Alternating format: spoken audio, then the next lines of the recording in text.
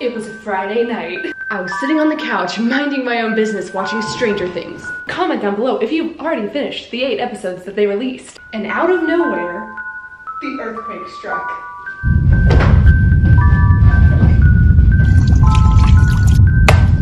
I don't know how I'll recover from this.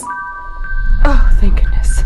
A piece of my blind went missing, but the worst damage of all happened in my bedroom. Crikey, mate! My room was spotless before the earthquake, and now look at the disaster. Guys, there's literally an earthquake going on right now. Like it's shaking. Oh. So I'm just sitting here minding my own business, watching Stranger Things, and all of a sudden I see the blinds rocking back and forth, and I'm like, hmm, that does not seem right. So I told Roseanne, my roommate, about all of this and that our uh, living room was kind of, you know, all jiggly and such. And she goes, oh, that's weird. And we're just shaking. She said the ceiling was literally like moving up and down. So I'm like, uh, should we go outside? I don't really know if that's like the right thing to do in an earthquake. Let me know what the safest way to like survive is. And so we go outside and the leaves and trees are swaying back and forth. And I'm like, hmm, this is weird. So yeah, it's pretty crazy out here in California. The earthquake is hitting the hardest in Ridgecrest, California. So that's in between me and Las Vegas. Here in LA, we're just getting like, you know, the little itty bitty earthquakes from the aftershock. We don't feel the actual 7.1 magnitude of the earthquake, but we do experience some shaking, but that is nothing compared to what Ridgecrest is feeling. So if you live in Ridgecrest or any of the surrounding areas, praying for you. Um, I'm really hoping that there's really minimal damage and I just want everyone to be safe. So I wanted to make this video actually to give you guys a few tips and tricks on being safe during an earthquake because I'm from Georgia. I've never experienced an earthquake. I didn't know if it was a good idea to go outside during an earthquake or stay inside. Like I literally have no clue how to survive.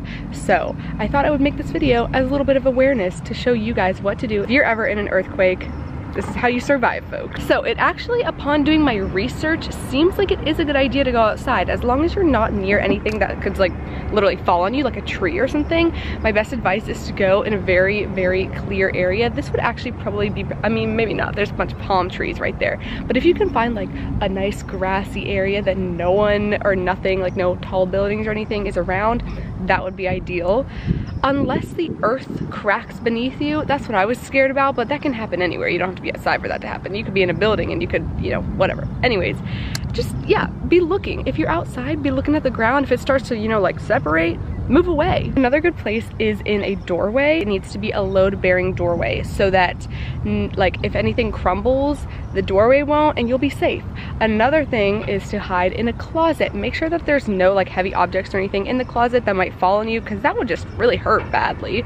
So make sure you're kind of in a clear closet. A lot of people do this beforehand, like they have a closet in their house if they live in California or anywhere that has frequent earthquakes and so that they can just like hop right in that closet and be safe. I've also heard that it's good to be on your bed or beside your bed with some cushions. That might be good too. I'm gonna put a little blurb of some safe spaces to hide or go when there's an earthquake right now. The sun's coming out. Since the 7.1 magnitude earthquake yesterday, there's actually been like five more, um, but I haven't felt them because they've been lower magnitude. So pretty crazy out here in California, but everyone stay safe. You got this. Boom. Hand tug.